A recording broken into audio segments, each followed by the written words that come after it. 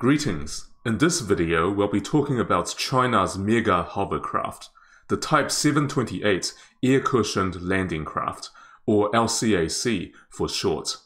These are large landing crafts designed for transporting and unloading a small force of around 50 or 60 men, and a small number of armored vehicles over a short distance.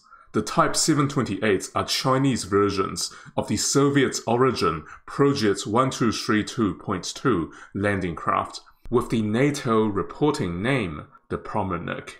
However, they are much better known unofficially by the name the Zubr class. Zubr is the Russian word for the European bison, which are strong swimmers across small bodies of water, such as rivers and lakes.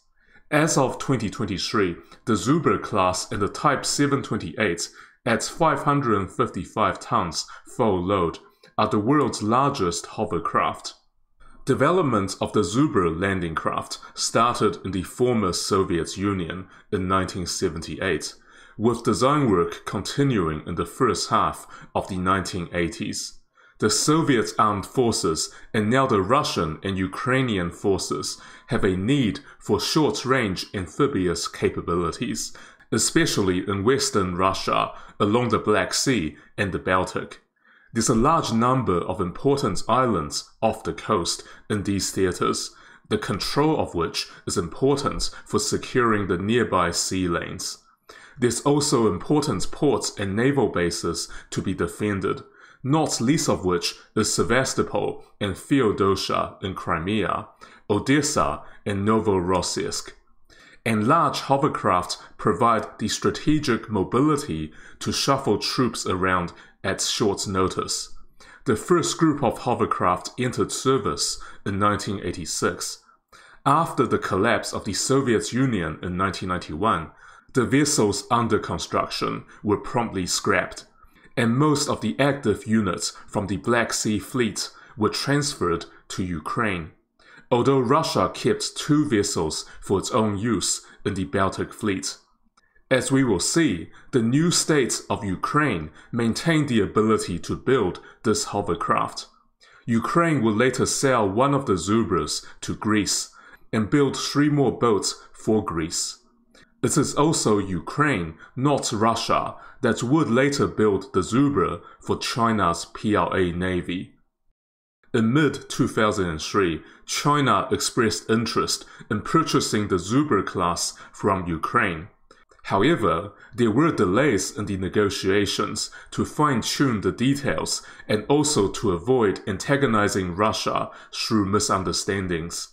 In July 2009, China and Ukraine reached an agreement under which Ukraine will sell four units to China and to transfer the know-how for building the Zubr class to China so that China can build more in the future if they want to.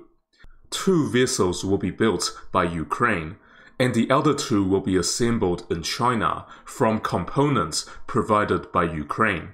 The final price tag was a lowly $315 million. The first unit was built at the Feodosia Shipbuilding Company in Crimea and adapted to Chinese needs so that no military weapons or electrical systems were installed. The first unit was delivered to the Chinese Navy in May 2013 and was assigned the hull number 3325 Ukraine turned over the second unit to China in February 2014 and was designated 3326 after the first unit had already entered service. The situation around Crimea involving escalation between Ukraine and Russia in 2014 and later the Russian annexation of Crimea led to complications in the project. Nevertheless, Ukraine successfully fulfilled its obligations to China under the terms of the contract, providing the components for building two more ships in China, despite the difficulties from the loss of Crimea. China then built two more vessels out of these components, designating these the 3327 and the 3328. With a length of 57 meters and a beam of 25.6 meters. The Zubr has the largest dimension for an LCAC. It has a cargo area of 400 square meters. It has a normal displacement of 400 tons and a full load displacement of 555 tons, giving a payload for the cargo of 150 tons.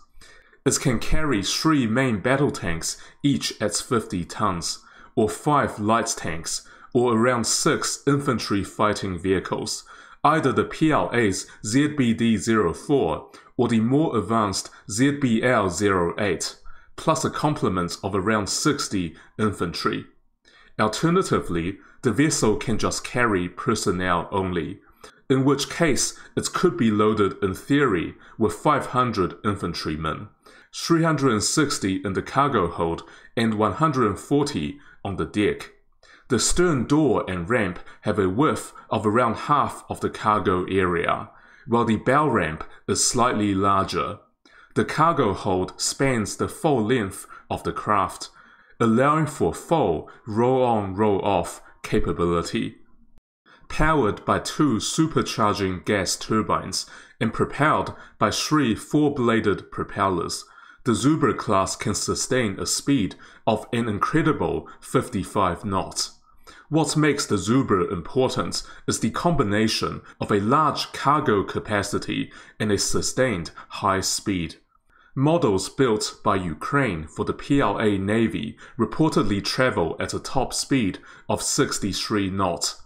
Maximum range is 480 kilometers, although in practice, the operational range will be lower. In May 2023, social media images confirmed the construction of purely domestically produced Zubr hovercraft in China. The new production consisted of two units, with the second unit identified in July, bringing the total number for the Type 728 in the PLA Navy to six vessels.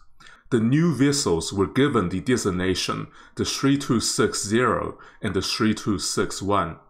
Unlike the previous vessels, which were either built overseas or built in China but with foreign kit, China built the new LCACs completely on its own and demonstrated a mastery of the technical requirements for building this class. The new vessels feature minor differences to the four vessels built previously. The old electro-optical fire control system for the close-in weapon systems is replaced by a fire control radar in the same place. The two six-barrel close-in weapon systems, or CIWS, are moved forward. The CIWS were moved to where the retractable multiple launch rocket systems were previously located, and the mast carrying navigation radars and communication equipment is redesigned. As with all air cushioned landing craft, one limitation of the Zubr is the sea condition, or the sea state the vessel can operate under.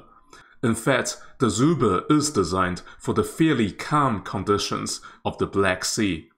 It is only seaworthy in conditions up to sea states 4, which equivalates to moderate sea. Any rougher and the craft would not be considered seaworthy. The height of the waves should not exceed 2 meters on average, and wind speed should be at or less than 12 kilometers per hour so these material restrictions on what constitutes ideal conditions for the operation of the Zubr class. For these reasons, I don't believe they are intended for use against Taiwan.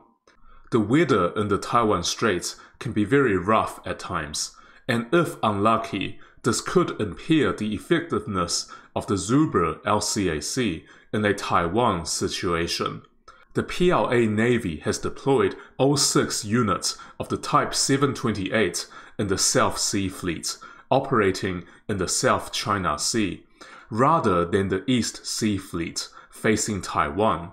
And this is consistent with my view that they are not intended for a Taiwan scenario. The planned total figure of the Type 728 remains unknown, and the scale of future production is still to be confirmed. Nevertheless, the recent construction of new vessels suggests the PLAN intends to use them on a larger scale than previously thought. The appearance of new Zubr hovercraft is an interesting part of China's effort to expand its amphibious warfare capability, alongside the continued expansion of its amphibious warfare fleet. The Type 728 Zubr class can deliver follow-on forces to reinforce a beachhead with heavy equipment and logistical support. Thus, they can play a crucial role in an opposed landing.